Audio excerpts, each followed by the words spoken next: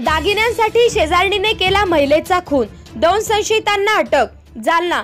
सोन्याच्या दागिन्यांसाठी शेजारी राहणाऱ्या महिलेचा खून केल्याची धक्कादायक घटना बदनापूर तालुक्यातील साखरवाडी परिसरात घडली आहे.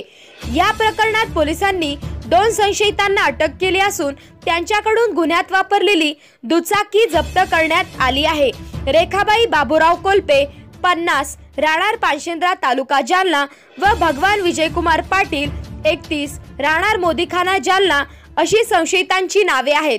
पोलिसांनी दिलेल्या माहितीनुसार पानशेंद्रा येथील सुमनबाई माणिक जिगे पासष्ट यांचा अकरा मार्च रोजी बदनापूर तालुक्यातील साखरवाडी परिसरात मृतदेह आढळून आला होता. याचा तपास करीत असताना पोलिसांना माहिती मिळाली की आठ मार्च रोजी सुमनबाई जिगे या गावातीलच रेखाबाई कोल्पे यांच्यासोबत गेल्या होत्या. यावरून पोलिसांनी त्या महिलेला ताब्यात घेऊन चौकशी केली असता मयत महिलेने हात उसने घेतलेले पैसे परत केले नसल्याने तिच्याबाबत मनात राग होता. शिवाय तिच्या अंगावरील सोन्याचे दागिने जबरीने चोरून घेण्यासाठी हा खुणाचा प्लॅन आखल्याची कबुली दिली. Bureau report Maha twenty four news Ahmednagar.